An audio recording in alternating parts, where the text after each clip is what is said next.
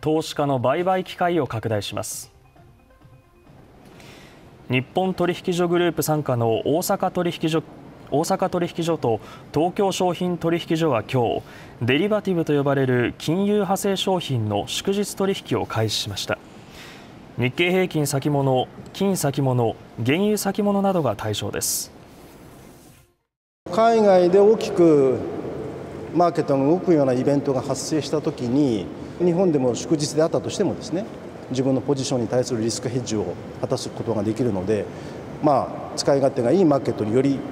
一歩近づいたと。